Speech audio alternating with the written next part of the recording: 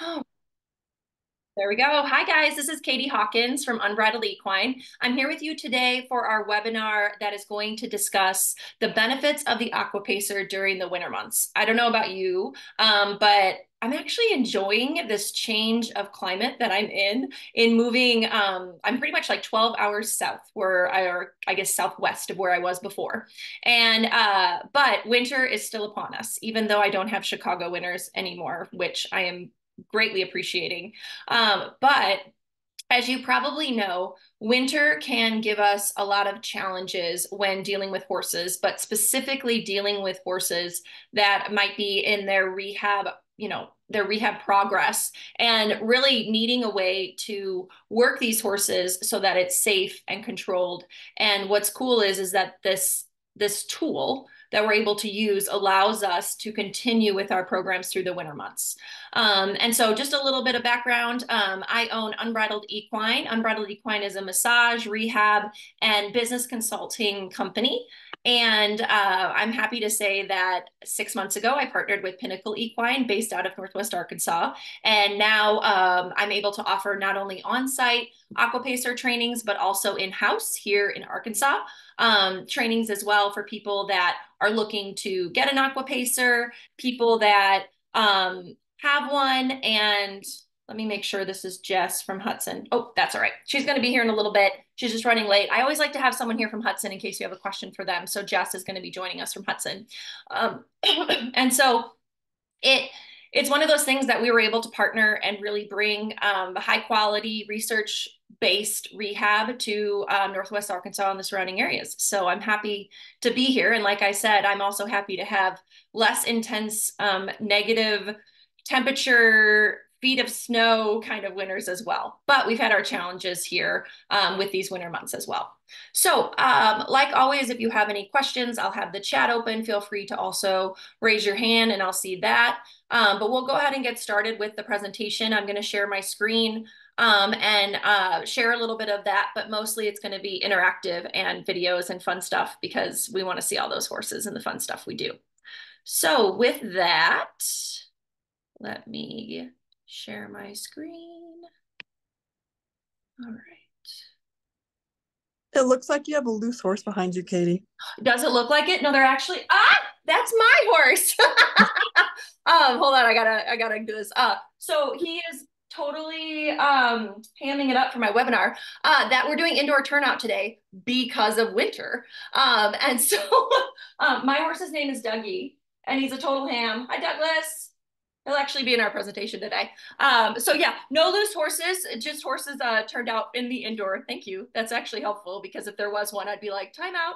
Um, I'll be right back. Uh, but no, they're just in the indoor arena. Uh, we have gotten tons of rain and our turnout paddocks are flooded. So we are utilizing indoor turnout and our aquapacer. Um, but thank you, fellow horse horse friend. Uh, don't you know any loose horses? And that would be my my horse that would bomb my my webinar. He's he's a total total guy like that. All right, so I'm gonna go ahead and share my screen and I'm gonna have um, you guys off to the side so that I can make sure to see you as I go. Um, but let me pull this up really quick.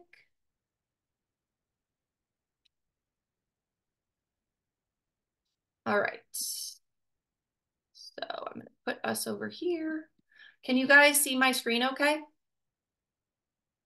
Thumbs up if you can. Yep. Awesome. Thank you. Thank you. Okay. So let me move this over a little bit more. I'm just going to get situated so I can make sure I can see everything. There we go. All right. So the benefits of the aquapacer during the winter months. So let's get started. First of all, because it's the new year, I said I wanted to get to know you all um, a little bit better. And is my internet being slow? No, are you? Okay, I think we're all right. Um, okay, so I wanted to first, I wanted to get to know you guys a little bit better. Um, and this is helpful for me so that I can um, tailor my presentations and webinars to you guys um, and what you're doing uh, to make sure that I'm hitting all the topics that you need. And uh, it's also just fun to get to know who I'm talking to. So let's go to All right. So with these, I'm going to have you raise your hand um, or send me in the chat. Well, let me make sure. It's hard to see everybody when you're you're doing it this way. One more second, I swear. Okay. So first things first, oh, stop it, computer. There we go. First things first is I would love to know who owns an AquaPacer um, unit specifically. Is there anyone here uh, that owns an AquaPacer already? Well, it's kind of fun. Oh, wait, hold on. I'm going to go to my chat. All right, Mary, you do. Awesome. So Mary is one of our um, I'm in the hospital surgery waiting room. I won't be able to talk. I do not know. It. Okay, that is fine. And putting it in the chat is an easy way for me to see it. So that's not a problem. And I love that you're multitasking because that is my life in a nutshell, um, is doing multiple things at once, which I sometimes and sometimes don't do successfully. So most of you do not have an aquapacer with just a few of you or no, just Mary that has one. Fun. I love this. Okay, so all this stuff is not going to be old news and you guys are going to going to love to hear it and you're going to fall in love. Yours is going to be there in 2 weeks. Yay. Good, good, good, good, good. I'm glad to hear that. Um, Christy, uh, thank you for for chatting. Um, and okay, so you have a hydro horse, perfect. And I know Shyla, you have a, a horse gym one. Um, and so one thing I love is that you know, I talk specifically about the Aquapacer because I work with Hudson and because that's the unit I've used. But oftentimes we can troubleshoot with other machines as well. Um, and I mean, I'm I'm somewhat, you know, I, I, like Hudson the best because I love their aquapacer, but I I really enjoy that we're able to create a community where we're talking about water treadmills as a whole and how we're using them. And it is not specific to to one um, type of water treadmill. So thank you for letting me know. Um, but i love that a few of you do have them and that christy um, you are getting yours soon. I, i'm so happy about that. Christy came and um, had an in-house training here in arkansas. And so i'm really pumped that she gets to have her aquapacer soon. All right how about this? Um, next up is make sure i'm doing this right Okay, do you run an equine rehab facility or a barn? Where are we at as far as what you guys are doing right now? So this makes me kind of get insight on who is doing this as of now, but maybe wants to add in an aquapacer or a water treadmill, and who um, is maybe still doing their other job, and this is something they're going to do in the future. So awesome. So I have Shyla, you are running a rehab center. Tamara, you, yes, rehab and conditioning. Um, Christy, rehab, Mary, both. Awesome. Um, anyone else that I missed? Chelsea, where are you at with stuff? Um, so we run a uh, veterinarian-owned um, rehab facility in Kentucky. Awesome. Um, so a lot of our competitors obviously have um, not necessarily the Hudson, but a lot of right models around our area. We're right around Lexington. So okay, so Spy Coast and Kesmarc. Star, yeah, yeah, yeah. So yeah, I mean uh, that makes sense. Yeah, are, yeah we're like 20 minutes, we're 20 and, minutes from everybody. So okay, yeah. and luckily you're in a location that has. Sorry, the of course they're going to use the vacuum on the aisle right when I'm giving my webinar thus is life at a barn. Um, but luckily in Lexington, you have a plethora of horses. So um, the nice thing is, as I say, there's always enough to go around. And yeah. the really neat thing about that area specifically is that most people are already educated about mm-hmm. rehab and fitness. Mm-hmm. And, um, but yes, I would agree that they are used to having some sort of um, hydrotherapy or water treadmill therapy. Now, the interesting thing is, you know, um, Spy Coast has the two machines. They're both from Europe. Um, I've, I've been to Spy Coast, and so they have those two. But Kesmarc has just the pool. Um, and so I have a previous webinar when I talk about pools versus above ground treadmills that you could always check out uh, to talk a little bit about the differences. But I think you are headed in the right direction, looking more for an above ground treadmill. Um, and I'm just really biased because I've now worked with two Hudsons and I love them. Um, so my next question for you is I'd love to know which state you live in.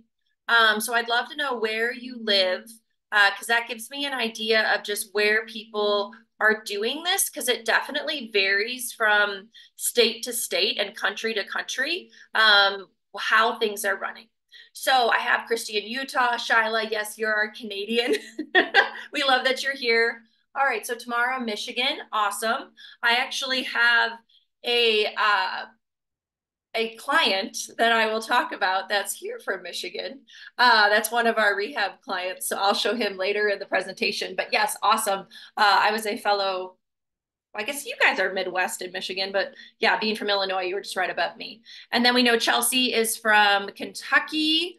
Um, Tracy, where are you coming from? You can let us know in the chat if you want. But good. So we have kind of, oh, Florida. Perfect. Okay. I'm a little jealous of you.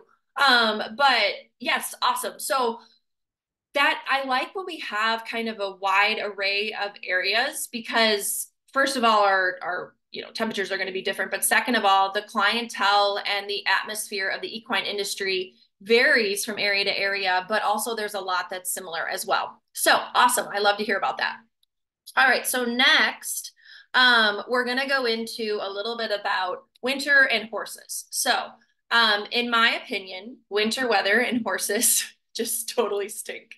Um, I love I love working in the equine field most of the year, but Winter and I uh, we're kind of we have a love hate relationship. It's beautiful when it first snows, which is why I put this picture in of our barn um, with the freshly fallen snow um, because it does make for beautiful pictures, but it really makes sometimes for a headache with horses.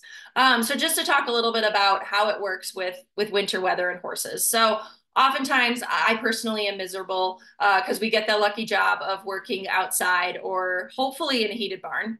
Um, the frigid temps uh, really lead into the idea that that's where it gets dangerous and messy. So a lot of times in winter, we're dealing with, you know, snow and ice but then we get that fun times when it melts and then we get you know melted areas that become ice or we get right now what we're dealing with is okay we had snow it's all melted and then we get rain on top of it and it freezes at night um, when it's you know down in the 30s and then in the morning we're not sure what we're going to get. It's going to rain more or we're going to have ice under the snow or we're just going to have icy areas that you can't really see. So that's where winter, I think, has so many variables that are hard to work with that just make working horses way more challenging.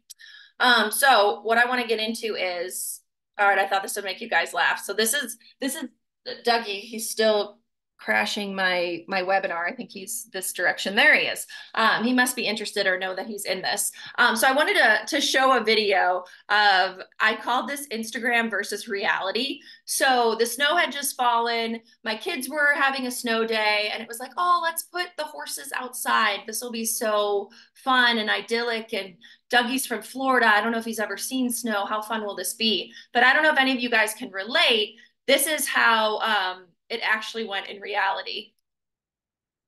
Be careful, Dougie. Douglas, Douglas. No, Dougie.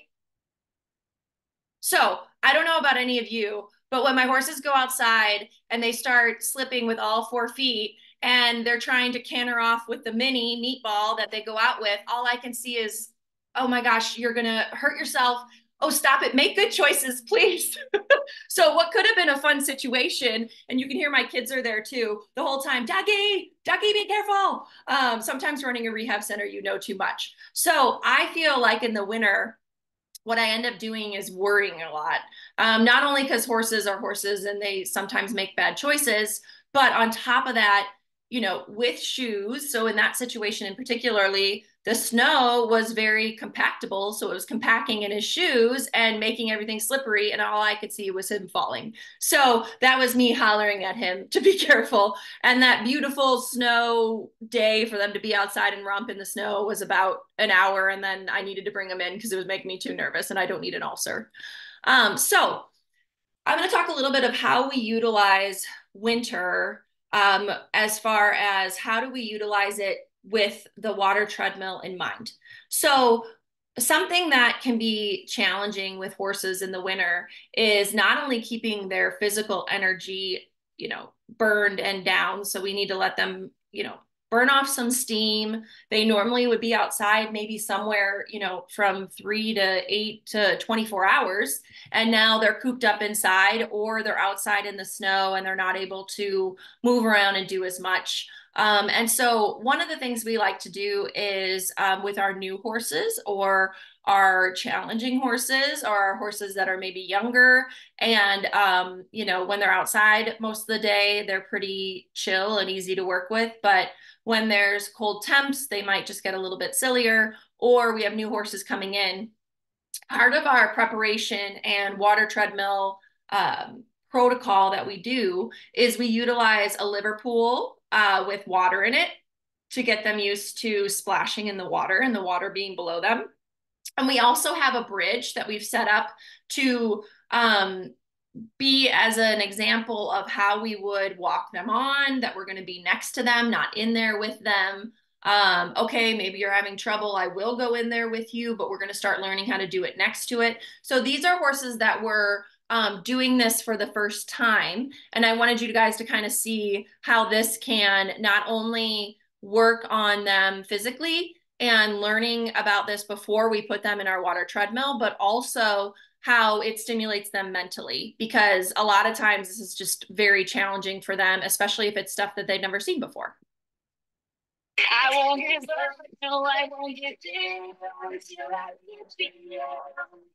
get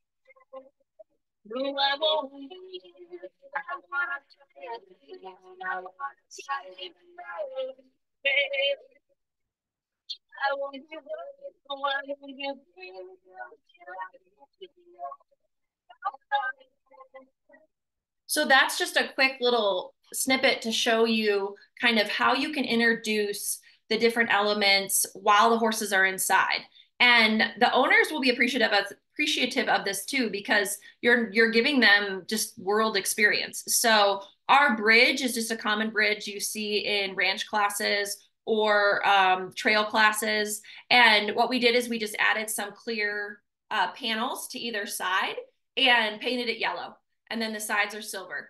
And that was with spray paint. And oftentimes it teaches them kind of that idea of stepping up into the machine.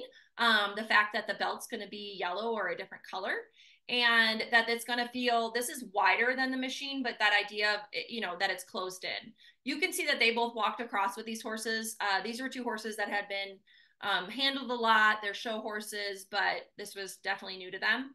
Um, so i didn't feel like they were going to run them over maybe like a thoroughbred that for the first time is um, thinking of it kind of like a start gate um, and so uh, we will kind of practice going through the bridge with them and then eventually being on the left hand side and teaching them how to lead up onto the bridge with us not in there with them. Uh, so this is something we might incorporate after they've had indoor turnout or after um, we've done hand walking or pole work with them. We have this just on the side of our arena and it's something we we add in to their schedule just so they get used to it and it, it preps them for the water treadmill, especially our new ones. Um, and right now we kind of got inundated with new horses where we have five uh, that came in in uh, really over one weekend. And so this is a way for us to really get that group introduced to the water treadmill without taking them right to the water treadmill and keeping them paying attention even in those beginning days. Um, the next thing, I'm going to talk about fitness horses. So we decided to offer um, an equine fitness package for this winter. And the reason why is because, you know, I think for fitness cases in particular, um, winter can be a challenging time. So in this area, what I wanted to capitalize on is a lot of people don't have indoor arenas. Uh, so, okay, if you don't have an indoor arena, you might be able to ride definitely into December, but January and February are really tough. Or people are gone at shows and there are horses that they can't take with them. So if you're not taking those horses with you, what are they going to do for the two weeks to however many weeks you're gone? Um, and so this fitness package, I wanted to give you a tangible idea of what it looks like. The thought process behind the fitness horses for winter, keeping them fit or even improving their fitness. So this is a new type of exercise on the aquapacer. For a lot of them, they are fit from the aspect of being ridden, but being fit on the water tread is totally different. Uh, so it allows them to work on their fitness in a new and different way.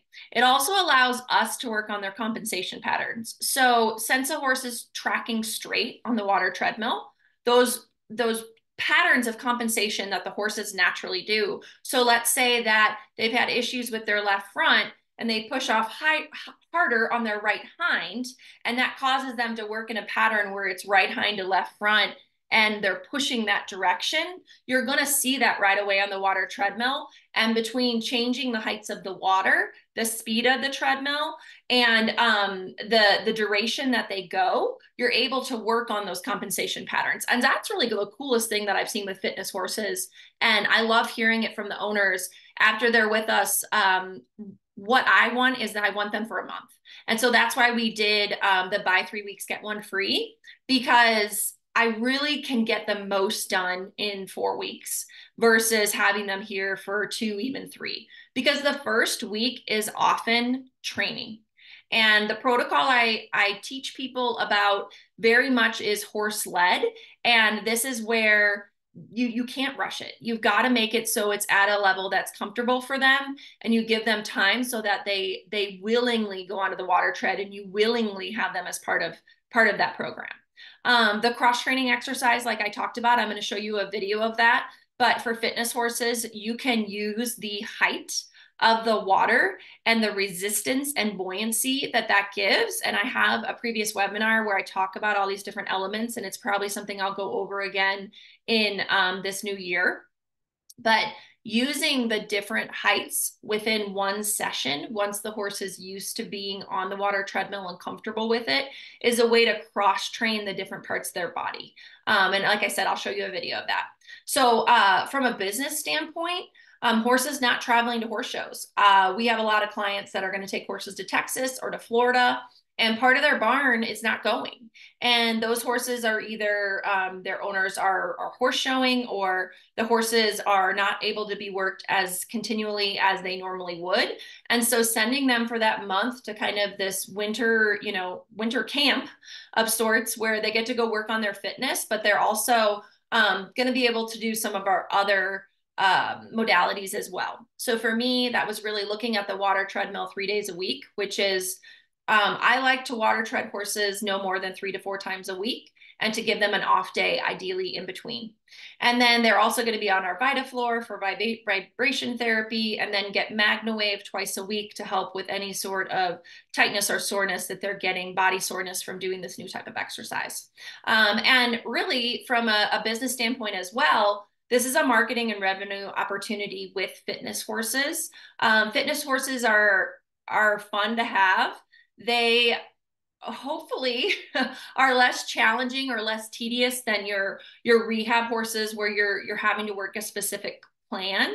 But it's really fun where you are able to kind of sprinkle in these fitness horses to to help you know fill in your numbers, bump up your revenue. Um, and what I have found is that from a fitness standpoint, having a package for people where they're able to understand what they're sending their horse to get um, is a great way to do it. And so, um, really, it's making fitness fun for these horses over the winter months versus limited turnout, um, not getting worked consistently, or it's so cold that the work they're getting done isn't ideal for their bodies. Uh, so, in the next video, um, I talk a little bit, um, I wanna show you that cross training idea and what it looks like. So I'll show you the video first. Um, this one doesn't have any fun music with it, but what I, I sped up this video so it wouldn't take the whole time of the session, but what I want you to see is, and I'll replay it, what we're doing with this horse is we're going ahead and raising the water all the way up at the beginning. So we're starting with the water with this horse, we're starting with it high. So this is just our normal fill all the way up. And then as we lower it down, we're actually leaving it there for different durations, either at hock height, knee height, fetlock height. Um, really, if you're between the knee and the hoof at any of those heights, you're going to have a really challenging session for them. But what I love is the way they work if depending on if they're coming up over the water or going through the water is going to work joints and muscles differently. Um, and so in that session we were doing hot water. Oftentimes it's hot water for our fitness horses because we are wanting to have them increase their cardiovascular work and we're wanting to work them in a way where we're not having to worry about inflammation in their lower legs like like we might for um, some of our rehab horses the next one I want to show you is two more fitness horses that we're working on two different things with these horses. Um, so the first one, her name's Electra, and I'll show you the video. So um, Electra is a warm blood that uh, has a lot of energy and personality. And what I wanted you to see first off is this is a really cold day. We have heaters in our room along with our barn being heated so this was probably a single degree day, but it still stayed somewhere between, ideally, unless we're opening a lot of doors, 40 to 55 in our barn. Um, but you can see as she works on the treadmill, the amount of steam coming off of it. So the water's right between, I'd say probably 95 to 98 degrees. And um, you can see how quickly that's going to warm up her muscles, warm up her body get her comfortable to start working. And then she's at a height where we're right above carpal, probably a little above hock, but not quite to stifle level. So she's working and she's a girl that can go about 15 to 20 minutes. Um, she has good fitness. Uh, she's able to work at a nice rate of speed. She's at about two to 2.2 miles per hour. And so she's one of those that we're we're working her fitness, we're working her, and as she gets going, what I would want to see from an ideal posture standpoint is that her head starts to come towards the middle and that she's working kind of in that straight line what she's probably looking at in this video in particular is a horse in the indoor. Um, we have garage doors that close, but there are windows on them, so they will see them. And she's definitely a curious one. So we're working on her fitness while her owner is in Florida horse showing. Um, this one, this is Miss Foxy. Foxy is a 20 year old quarter horse, and she is a great, great, loving horse that um, really just needed, she knows her job so it's not like during the winter she needs to learn her job more. It's that she needed a slow, steady pace to work where her fitness could stay, but she wasn't putting wear and tear on her body. So that's where you can see her rate is a lot slower. Um, she does a good job with her ideal body posture, but we have hers pretty high um, because we do want to keep her somewhat buoyant in the water while while still having to work with that resistance. But I don't want her to work as hard as Electra. I want her to comfortably work at a slow, steady speed. So we're keeping her fitness, keeping her top line, but she's not putting any needed unneeded wear and tear on her joints because she is an older horse. Um, we were able to really, you know, over that time frame, get her top line to look much better, and her range of motion improved drastically um, with that warm water. So those are two examples of fitness horses. Another thing we'll do with our fitness horses um, is work them in hot water. And then we will go ahead and drain the hot water that we have, um, switch the system over, which takes about 48 seconds, and then raise up to um, about carpal knee height um, maybe a little bit higher if we need to, the cold salt water, and we'll ice their legs at the end, either with them standing. So with Foxy, we would let her just rest and stand in it. Electra doesn't know how to stand still. So for her, um, we would add that into her program. So we know we, she can go 15 to 20 minutes. So maybe we went ahead and did 12 to 13 minutes with the water, um, with filling and draining of the hot water. We drained it all the way she stood quietly while we switched the system over, which is something we trained her on. And then we filled it up with cold and did about five more minutes cold. Um, and that way, after her session, she had nice iced legs um, and really was a complete session. And for Foxy, uh, it's something that her legs can have fill just naturally because of her age and her legs really consistently looked a lot smaller. Um, so her owners were really pleased with that. Um, so just two examples of fitness horses that are there for different reasons but can still be worked consistently in a fun way um, during those winter months when it's really cold and they're able to come in and work on their fitness the way they need it in a customized way. Any questions about utilizing it for fitness horses? You can um, unmute yourself or also put them in the chat. Um, I'm going to move on to my rehab horses. Uh, so rehab horses are, are another big part of our uh, our setup here. We just do rehab and fitness. We don't have any other programs going on here other than our own personal horses. And so uh, we're able to have a nice number of horses here uh, that I like to keep somewhere around 10, um, give or take a few. So uh, we decided to go ahead and do an equine rehab package uh, for our, our fitness package people really, really liked and said that um, even though our pricing is a la carte, is there anything, especially trainers and and when they're coming, you know, and they have a horse that's injured and maybe it's not going well at the home barn or because of winter, uh, taking care of this rehab horse is going to be really, really hard in their unheated barn. Um, could we put something together that we think is maybe a rehab package that hits most rehab horses, and then we can add on or change it as needed. So that's what we did. And um, we put together where they would be hot or cold water treadmilling twice a week, Vitafloring every day. Um, we have a class four laser that we said we would use twice a week and then MagnaWave once a week. So we have other modalities here that we would add in as well that are a little bit more specific to the horse. Like not all rehab horses would need to be shock waved, or if a horse has something in particular that's going on, we have the tool for it, but this would give people kind of a starting off point of if my horse is injured or my injured horse that isn't getting better, where am I going to start price wise so I, I can know what I'm getting into. Um, so I love the water treadmill because I'm able to stay on track with rehab plans and getting results. So winter does not stop us with our rehab horses. Um, we're able to keep going.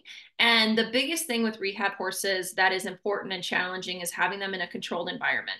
So even when um, a horse, you know, they might be coming off stall rest, and they come to us, they might be at a point where they can hand walk, but they don't have an indoor arena, so they can't hand walk them indoor. Maybe they're hand walking them in the aisle and it's not going well uh, because the horse is pent up. It's nice to have a controlled environment where, with training them, um, with our protocol and using the elements that we have to get them used to it, we can put them in the water treadmill. And some of these rehab horses, we actually train to have the water fill up while they're standing still so that the water can be above the area of injury. So let's say they have a suspensory tear.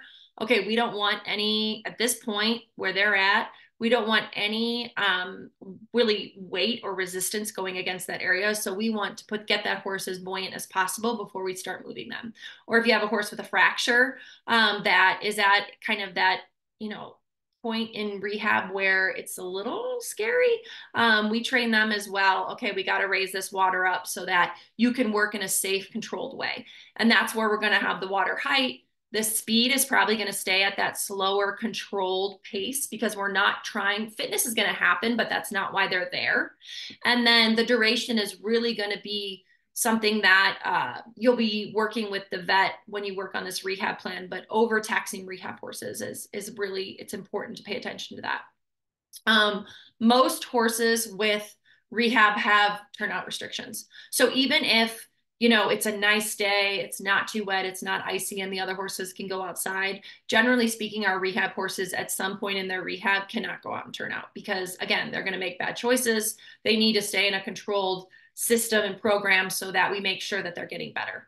And I always remind owners and remind myself that, you know, not having that turnout is a, a short term kind of restriction that for long term, in the long term, will really be beneficial to them. So sometimes it's hard, you know, to have horses on stall rest or with turnout restrictions because they definitely want to get outside. But um, having a way for them to, you know, keep their sanity when they're stuck inside and get them on a program where they're rehabbing and water treading consistently is going to help you where that turnout is not going to be their way of getting out those crazies. They're going to be able to go and have something that is consistent for their workout where they're going to feel good.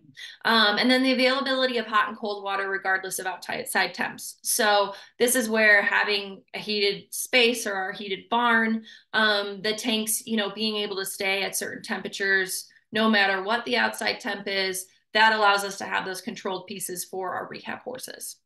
And so some examples that I have for you I don't know why my pictures didn't show up. These are awesome too. Let me see. Let's see why they didn't. Hmm. Stinker. Let's see if I reload it.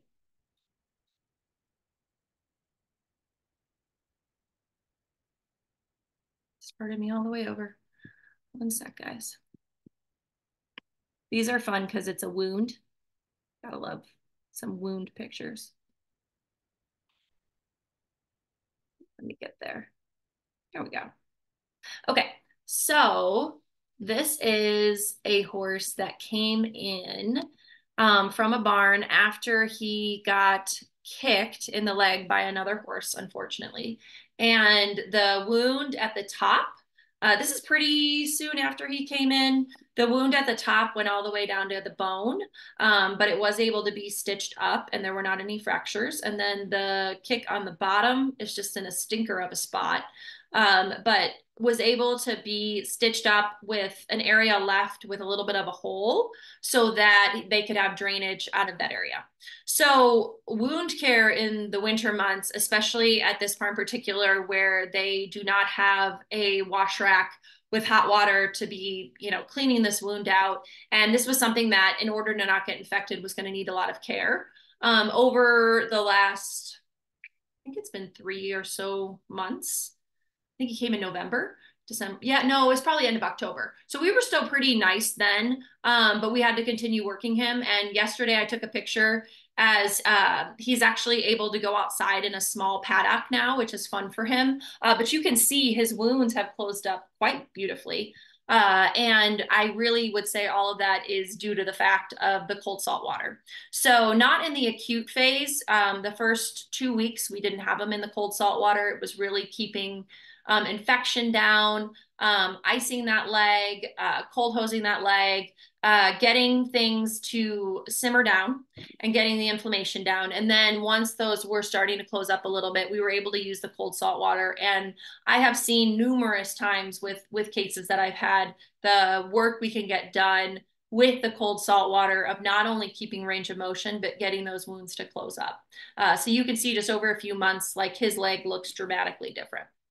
And I think I have, yes, a video of him. Oh no, this is not. Way to ruin my fun. This is the next one I'm going to show you about.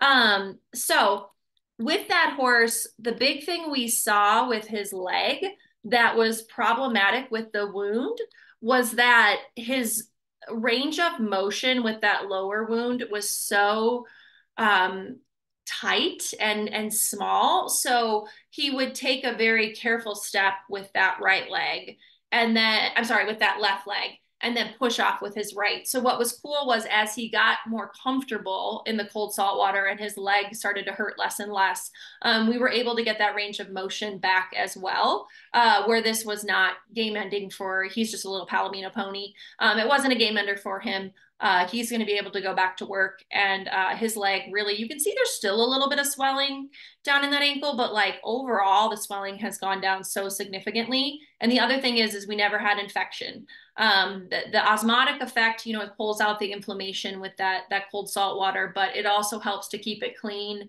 and to pull out any kind of debris or anything in there. And so we did wrap him at night.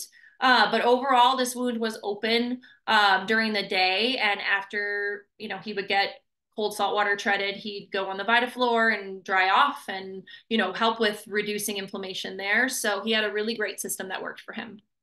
So the fun part is um, we got a, a cow that we're rehabbing. Um, we have a cow actually out of, he's a steer because he's a, a, castrated male, but we love to call him a cow. Um, we have Dwight uh, that came to us from Michigan.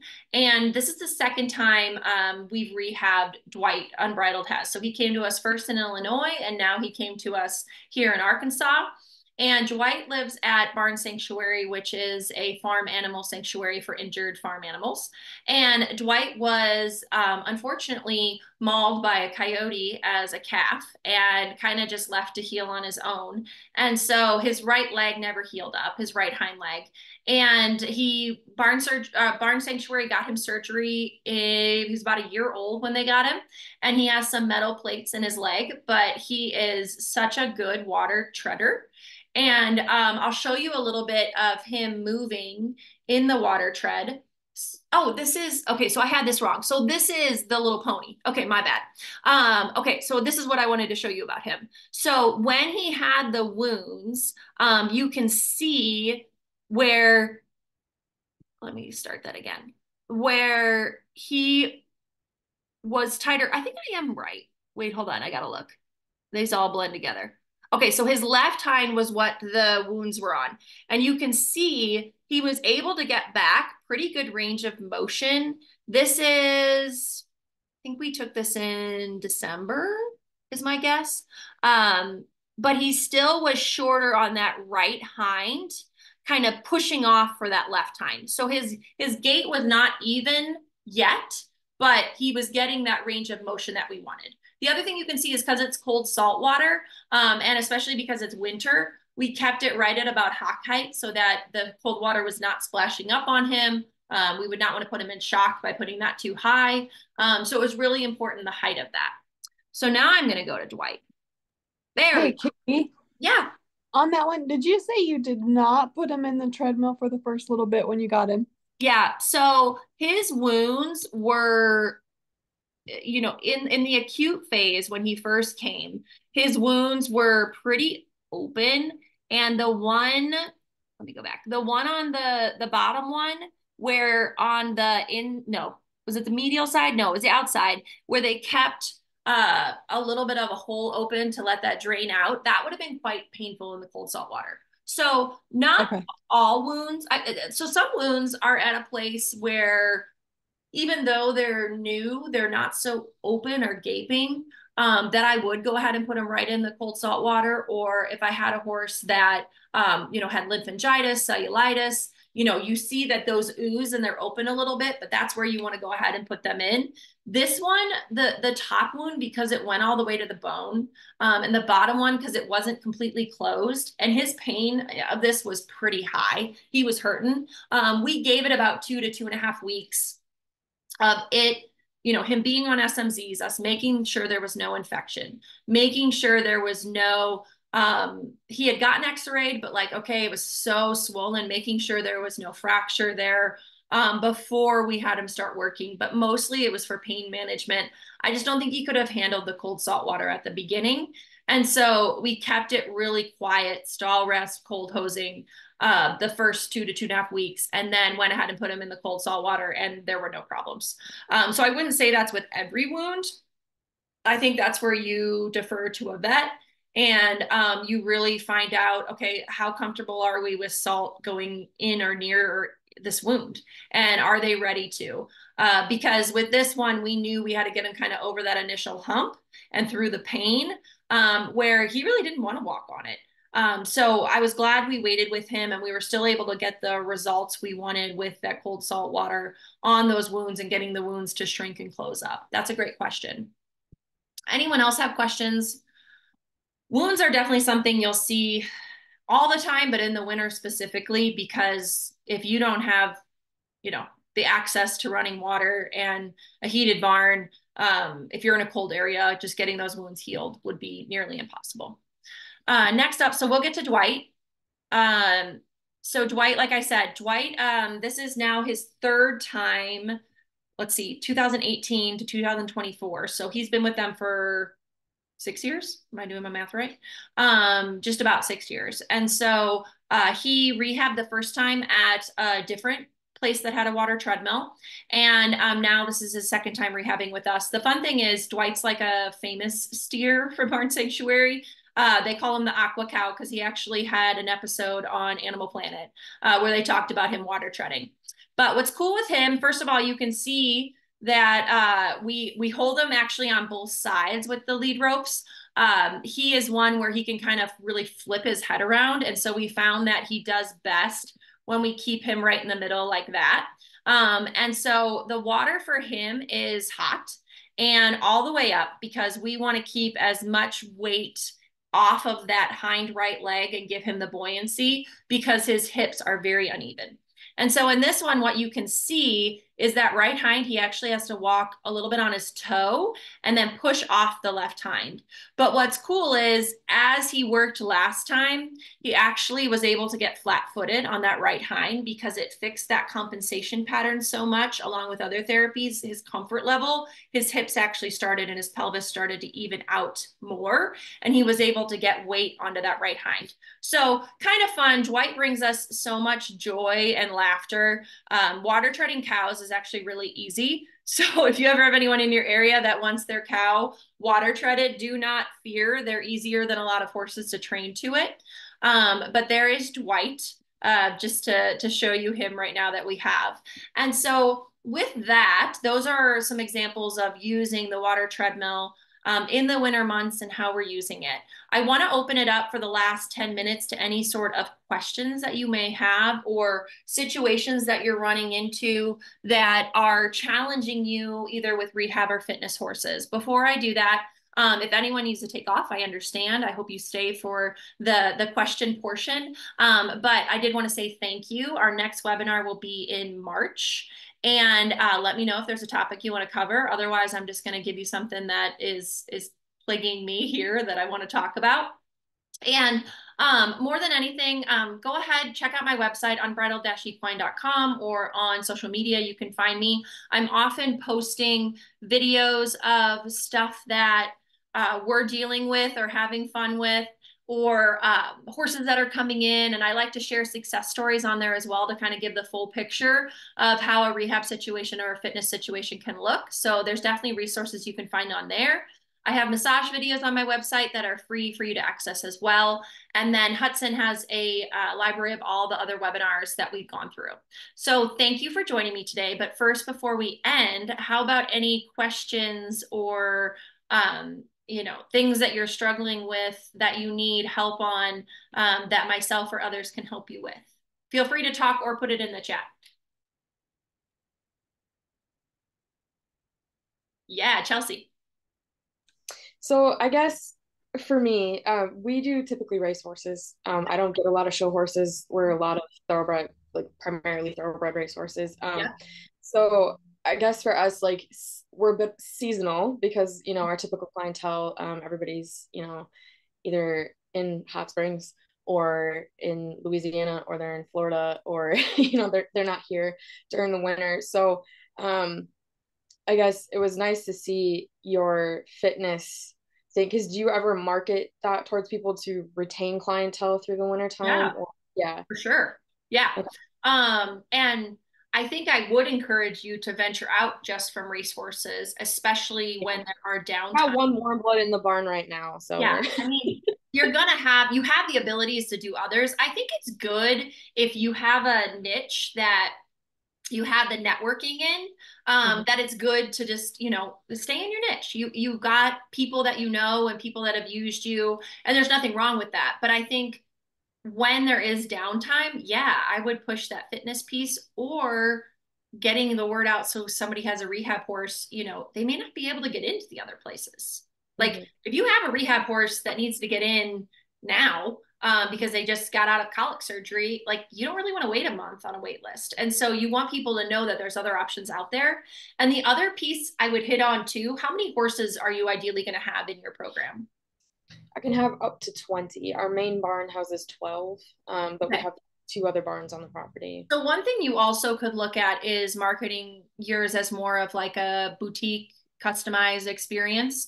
Um, a lot of times with those bigger places, it is very much like a they they have tailored programs, but it because they're running 30 40 horses a day um, mm-hmm. plus having trailer ins a lot of times that customization piece is harder to do just with staffing and you know time.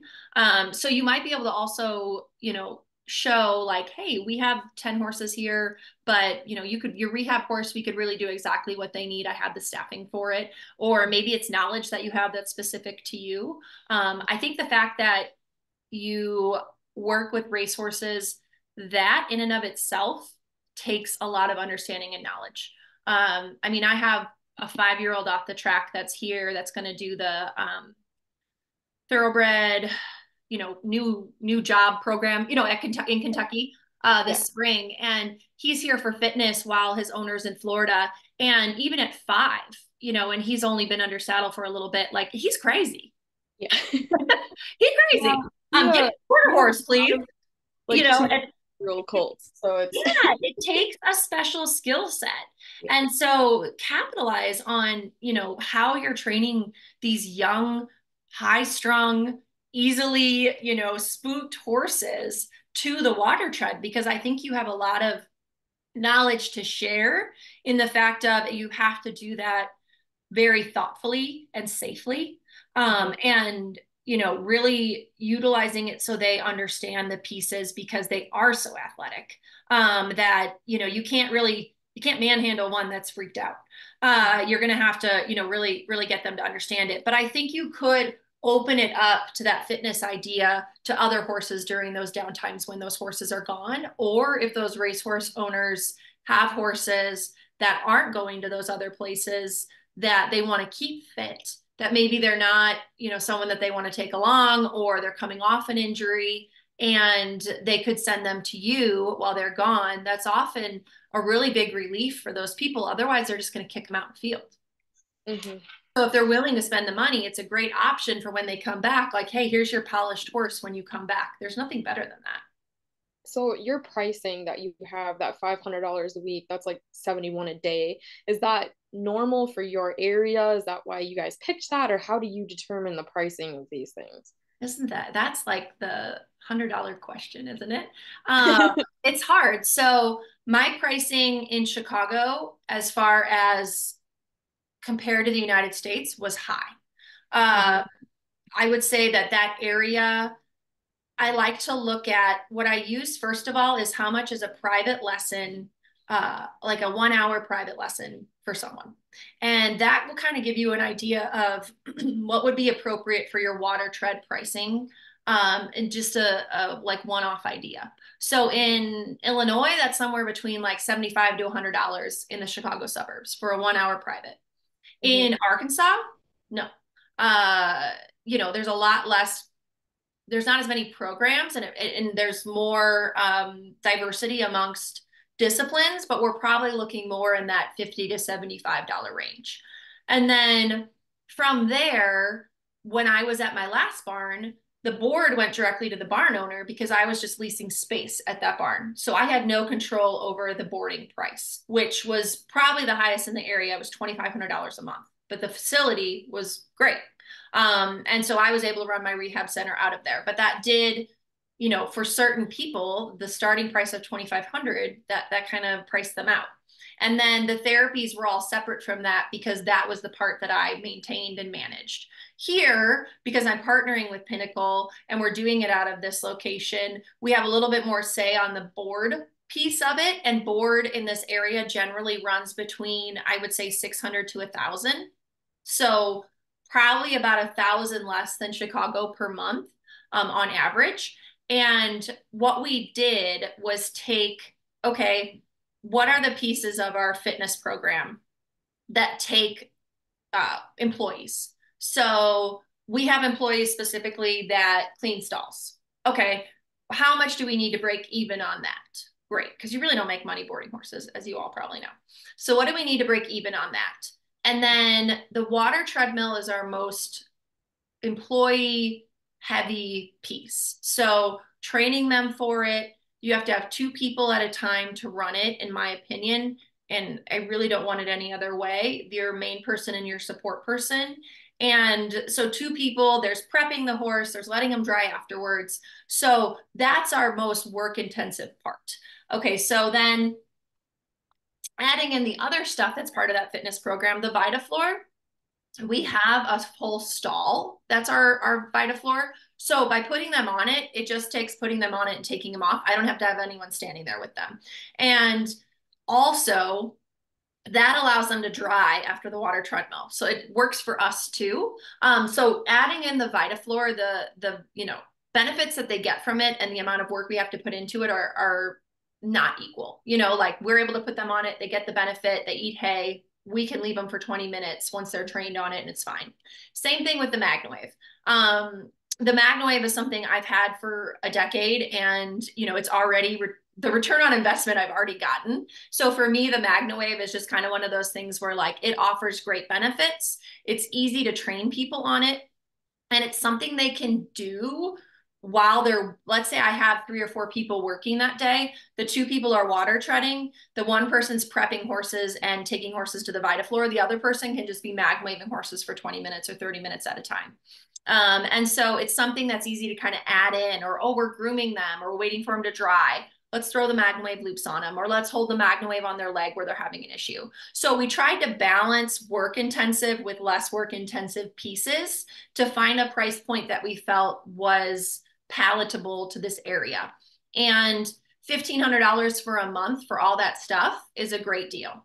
And we also want to be able to start showcasing the type of fitness that we can get done when people send their horses here for a month. So there's that added benefit of as we start up, even though I have the experience in rehab, but not in this area, um, I can say and you know or post all about fitness cases but once people see it and feel it and start talking about it um, that also has a added incentive or dollar value to it as well. Um, and so for us it was about the 1500 was like okay we break even on board we need to cover our costs for the water tread and then the other pieces we could just break even on or lose a little bit on because they're they're not overly work intensive. And when we came up with the 1500, it was like, okay, this is this is comfortable for fitness horses along with talking to trainers in the area of what would be some people were like, oh, that's too high. You know, it's it's just too high. Okay, well, you're never going to hit everybody. Um, but at the same time, we have to be realistic to the wear and tear we're putting on our aquapacer and the amount we're paying our employees. Um, and so 1500 was an amount that right now, uh, the number of, it also is nice because we knew we'd get a good number. So I have somewhere between like six and eight fitness horses at a time. Like those are easy in my mind to just like, okay, we're just pushing them through. Like we know exactly what we have to do with them and we know on average how it looks. Like the first week we're training, we may have one or two that start water treading, but it's easy to put them into our rehab horses schedule. And so rehab horses are much more tedious. Where generally speaking, except for the five-year-old thoroughbred, you know, is a little bit more of a challenging horse to work with um, because he is just off the track. Like we have a 18-year-old, you know, like glorified lesson horse that's a saint. He got trained up in one day and he's treading, and he's just a pure pleasure to have. You know, he's just precious. And we're going to keep him so that for his kid, come spring, you know, he actually looks better, feels better, all of that. So, you know, the fitness horses for me are ways to fill in gaps, keep you know, keep the momentum going of the horses that we're helping. And then it's equally beneficial to the owners that in the wintertime, you know, I want to be seen as a resource of I can't ride my horse right now because we only have an uncovered outdoor. I'm going to send my horse over to Pinnacle. Or, you know, we're all headed to Florida or we're headed wherever. I don't, I'm going to close down my barn. So I'm not going to have any employees there. They're going with me. I'm going to send these two horses over to them because I know they'll be taken care of and I'll get them back at the end and they'll look great. Um, and those that's kind of where that price point came from given the fact that it's on the higher end as far as board would go but the amount they're getting out of it the 1500 is is very doable for people in all disciplines so we've had you know our barrel racers we've had our ranch horses we've had our jumpers we've had our off track thoroughbred. You know, we've kind of had a little bit of everything. And so that $1,500 was a comfortable price point for us. So when you do you do ship-ins like you'll do a la carte like single sessions or like how do you charge if people are just choosing yeah. a certain amount? Good question. So we are going to start allowing ship-ins mm-hmm. soon. My caveat is that they have to come at least for two weeks one thing we're offering as part of our fitness program is if your horse does the month long fitness program, they're eligible to come do haul-ins. Because the biggest thing is they have to already be trained to do the haul-ins or it is such a headache. Um, and it doesn't, it doesn't, for that like rare horse that just gets on and doesn't care about it, it's fine. But for a majority of them, they need the time to be trained on it and they need the time to get comfortable with it. And then once they do it consistently, they remember it. I mean, even the cow remembers it. Like we got him on and he was like, I love this thing. You know, like they remember enjoying it. And so for us, there's that added added incentive of like, if your horse does this program, you're going to be on our first, you know, slot of people because we're not opening it up to everybody. Um, you know, we'll let you come have priority to come in.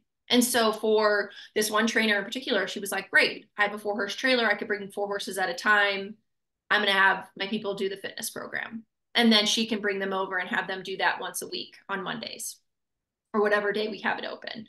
And I have found with haul-ins that if you sell those as a package, I do mm-hmm. think that is nice from the standpoint of just doing it once every once in a while they're not going to see any change and the owners are going to be somewhat disappointed. Where if they come on a weekly or a biweekly basis um, they're going along with the program they're doing at home they will see um, improvement. And so that's where you know selling them in you know 10 or 12 or 15 um, or buy 10 get two free however you want to do it you want them to come consistently because otherwise you're kind of wasting your time and their time. Um, but haul-ins, I generally give an hour per haul-in. That's on the high end. Uh, I'm sure if you talk to Spy Coast, like their haul-ins, I, th- I know they do a lot of, I think, thoroughbred haul-ins, um, but they have two machines. But their haul-in machine, um, I think they're able to do them a lot quicker. Uh, but they oftentimes um, places will also uh, sedate horses to do it. I don't sedate. Um, I just don't. And so I have found that I don't want a program where I have to sedate them. They don't move as well when they're sedated. And if you train them, if you have the time to train them well, your rare horse may have to be sedated for their own safety and rehab because we don't want them to hurt themselves. But I do this quite successfully over all these years and don't sedate. Um, so that that's kind of how I'm running my program, and I'd rather give a little bit more time and patience than drug them and speed it up. So that's just my two cents on it. Um, but I think you know realistically, uh, if you have a trainer bringing multiple horses, it's easier. Um, where when people are just bringing one horse, it's it's usually more timely. Where if someone's bringing three or four horses, you're kind of working those through as you go. I will overlap people. So um, when I'm done with the horse, the other horse is already getting prepped by one of my employees uh, just to try to keep that system going. And then I do often, uh, if I can, have them go on the VitaFloor as well. It's just a good way to kind of have them relax and dry off before they get back on the trailer. Mm-hmm. Does Hudson have like a pricing chart where they have suggested like if you're buying a new unit, like how do you get your return back on a certain scale? Yeah, so they have Excel uh, document that I've gone through with some of my consulting clients where they they do have you input numbers based on i mean everything from how much does water cost how much does electricity cost are you leasing the space um, how much you know are you paying per month on your water tread or did you pay it off already how much are you going to charge per session how much are you paying employees. They do have a sheet that breaks all that down and i feel like it is pretty comprehensive um, but in the end it has to be i always tell people don't cheapen the water tread to get people in because you'll get resentful it's a lot of work it's an expensive piece of equipment if a horse breaks it, you can't just buy the part on Amazon, probably. Uh, we had a horse that broke ours and uh, one of the tension rods. And, you know, Hudson came out and fixed it, but it took two weeks, you know, so we were without our water tread for two weeks. And, you know, it would be really annoying if, uh, you know, if that was because I was giving, I, I didn't have a horse properly trained and I was doing it for too cheap. I would have been annoyed. Like now I've got to have Hudson out. Now it's under warranty and they came and fixed it, but you know, there was lost revenue during that time. Um, and I think another big thing is like the fact, even though there's places around you that have it, it's still a tool that most barns do not have. And, you know, there is a lot of time that goes into changing out your water, cleaning your filters, like all that has to be put into play too. So for this area, somewhere between 50 to $75, like that private lesson for an hour, is where I'm kind of basing my prices off of. And then in Chicago, it was 75 to 100. And then in, you know, Montana, it's going to look different than it is in California.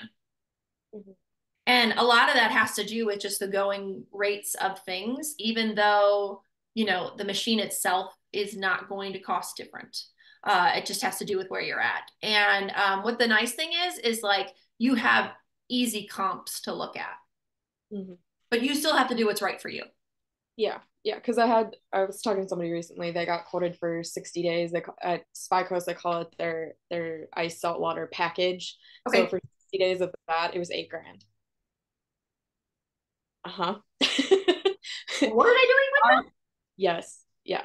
Wait, were they putting them in the spa that they have? They were, they were calling it their their ice saltwater package, whatever, and it was eight grand for sixty days to have the horse living on site for rehab, whatever.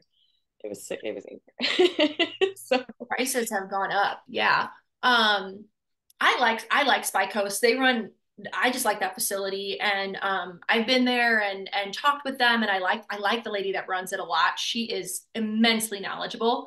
That is an operation, though. Mm-hmm. I mean, they have a lot going on, a lot of employees. Um, they did everything. I mean, there's a vet on staff. It's awesome, you know. Um, so there are pieces that you know people send. I've had people that are like, "No, I'm spending my, sending my horse to Spy Coast. I know them there. I've sent young horses there to be developed. I just want them to have them." And I'm like, "Great, you know, like to each their own. Like again, there's enough horses to go around.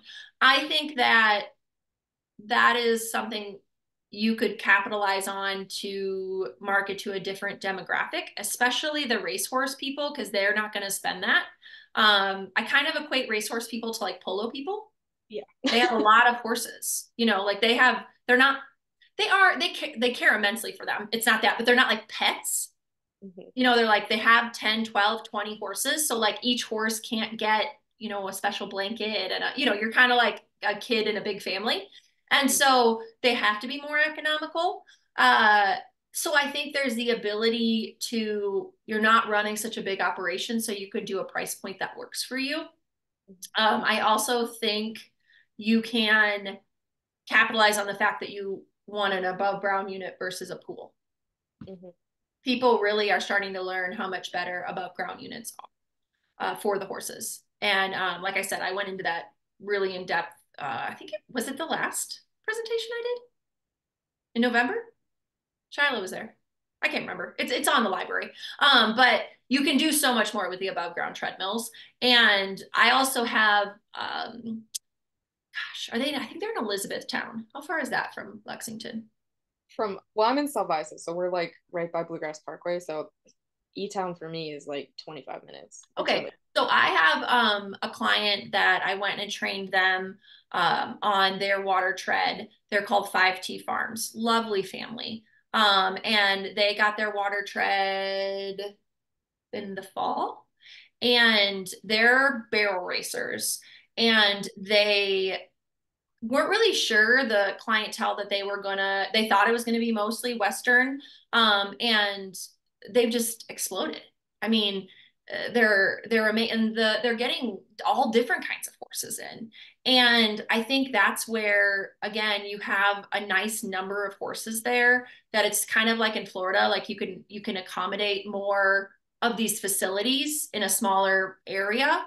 Um, but they're a facility that they were thought they were going to do more rehab, and they've done a ton of fitness and you know they've only been open a handful of months and they're doing wonderfully um, and i think it's someone you could reach out to and even you know touch base with um, and i'd be happy to connect you because i really do feel like and i did this with massage too like we do not have to cut each other down to get business like we just don't um, and they, you know, I like sharing my knowledge and my experience because I had to go through a lot of this alone when I first started this out.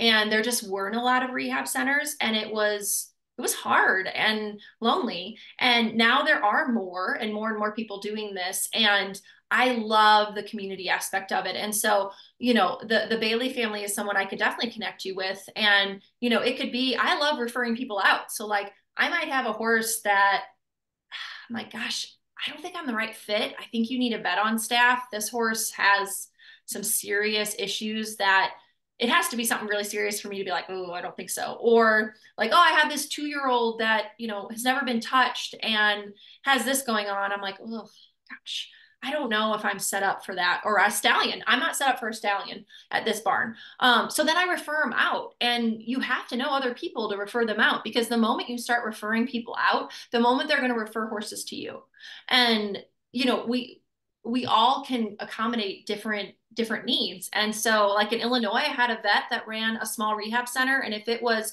a post-surgical that I was just not comfortable with or a wound that I didn't know if we could handle, I'm like, you need to go to Dr. Iverson's. Let me connect you with her. Um, or, you know, someone that I'm like, oh, I can't accommodate you now, given that I'm in Arkansas. I don't think the horse should travel that far. Let me give you a bunch of other ones that you can contact. Um, and so that's where I think, you know, taking that that higher road and working with the people around you, you're really gonna enjoy it uh, because it's it's something you guys love that you're doing that you know, if you price it appropriately, like you aren't having to, you know, push other people down to get to get the horses in because they're there. Um, and the more educated the population is, the more they're going to see the value in it. So you have a nicely educated audience. Yeah. that piece is hard. I've done that now. This is my second time doing that and educating people on it. And the why you would want to you know prehab your horse with fitness or why you would want to spend money rehabbing your horse so that they rehab correctly or we fix other issues that are going on there is a whole education piece to that that takes time to establish mm-hmm. that luckily you've kind of had the people that have done the legwork for you but yeah eight grand is astronomical they didn't go there yeah i would be wanting like golden ice on my horse's legs right. and I really like mine. And I'm like, dude, you don't yeah. need that good advice. Yeah. Um, so yeah, I think doing some secret shopping would be good too. Mm-hmm. Um, if you have places that you can connect with and talk to about pricing, that would be nice. But feel free to have a friend call and you know secret shop it a little bit so you can know what the going rates are as well. Um, I'm always happy to share my price sheets and you know if other barns are willing to share theirs because again, I think we want to make sure people are pricing this appropriately because that helps all of us. Mm-hmm. If somebody cheapens it, that that hurts our business too. Well, I won't monopolize the time anymore. No, great questions. great questions. Anybody else? Shyla, I see the new baby. I'm like really in love. The last time I saw Shyla, she was like super pregnant and ready to pop. The baby looks She's precious. Oh, Oh, hi, babes. Oh, what about Nate? I know it's so hard being a baby. Uh, How- Riley. Riley, congratulations. Yeah. January 3rd. Oh, gosh, you are like fresh out of it. Hour and a half labor. oh, are you sleeping? Yeah, not bad.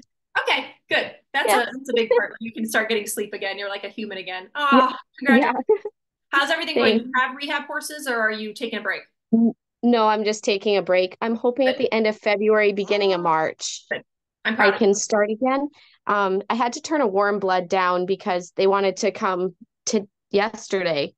And I was just like, I I can't yet.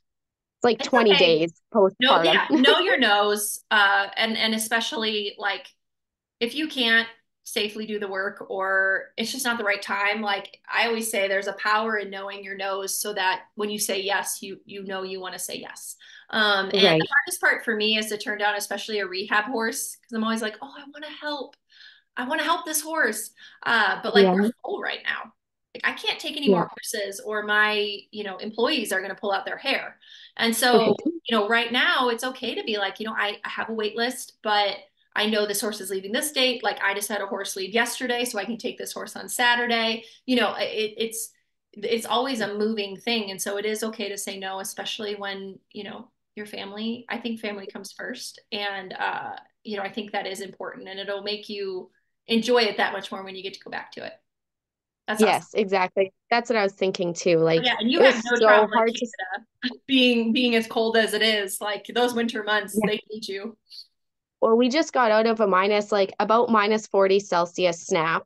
Oh, And in a couple days, it's supposed to get up to plus seven. okay. Not not cool. No, That's so no. bad for We're at least getting like, into positives, but yeah, no, it's so I'm you, moving south. It was the the thing. Yeah. yeah. I do love Lexington though too. I have always looked there. I've always, you know, who what horse girl doesn't want to live in Lexington? Right. Romantic. And then um, Utah has great weather. Like Christy has great weather out in Utah most of the time. And then um, We're 60 today. oh, nice. Okay, It yeah, is we're though, mid- so that sucks. Yeah, yeah. No, definitely. And then um Mary, where were you? Oh, Texas, that's right. Yeah. No, Texas, you guys other than ice storms do do pretty well. Um and so no, I think I think it's a great thing to talk about as far as, you know, uh, when I consult with people, yes, it's consulting about the water treadmill and either, you know, if they're going to get it or will it work in their area. But so much of it that I see is missing is that business piece um, that I just kind of figured out on my own. And now I want to be able to share that with other people because you often wear a lot of hats when you are running your own rehab center. And I would assume most of us didn't get into horses because we love business.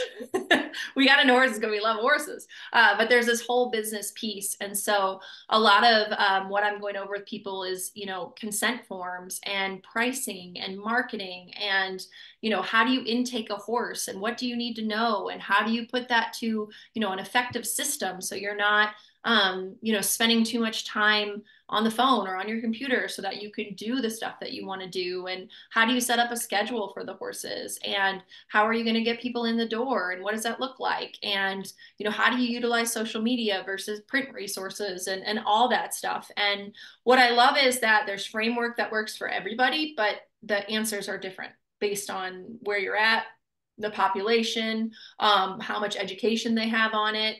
Uh, and so, yeah, I mean, it's definitely one of those things that the aquapacer, I've said this before, I can rehab horses without the aquapacer. I prefer not to because what I can do with the water tread and the horses I can take on and the, the stuff that I can get done and the time frame I can get it done uh, is just exponentially better. And so um, that's where I want people to have this tool and be, be able to utilize this tool, but also have a successful business because it's a huge investment and you have to have a plan in place so you are not pulling out your hair doing this. And so you're not doing it all hours of the day. Um, which which horses kind of are, but we can put systems in place and have things working in a way where it is functioning as a you know a, a business that is able and manageable and sustainable because um, I've been at the point where I've been strung out and and worn out and and not wanting to do it anymore and that's when I realized something had to change. Um, and you know there's still those days but overall like I know what has to be put into place so that a horse can come in on Saturday and it's just like yeah your horse can come in. We have a spot. Here's what you need to fill out. Here's the the plan. Uh, here's what I need from you. Here's the check I need from you. All of that. And it's just easy and laid out um, and then when that horse comes in, we know the training protocol. We know what they're going to do with them. Um, and so that just makes everyone's life a lot easier. All right, any other questions? All right, I'm available as people need me. Um, you can always, uh, you know, obviously join the webinars. You can send me an email anytime, unbridled equine 2 at gmail.com. Um, you can message me on social. Um, you can text me. I gave you your, my phone number uh, in the email. You can try to call me, but usually I have either a kid or a horse next to me, so it's it's nearly impossible. Uh, but texting I can usually get to within the day, and um, I'm here to help and be a resource and cheerlead as much as you need uh, because I just love that horses are getting the healing and help that they need and that's really what i want to see um, and you know if you're interested in training or consulting or anything like that reach out to me um, it's something i love doing and um, what i'm proud of is seeing these people that put the work in and now they're up and running and they have their water tread and they're flourishing That's the cool part. Um, and so that's really what I want to see people be able to do. Um, so with that, uh, I hope you have a great rest of your day. I hope you're able to utilize your AquaPacer or water tread in the winter if you are. And um, again, I'm here if you need anything. And thank you for joining me today. It was nice to see all of you. Take care.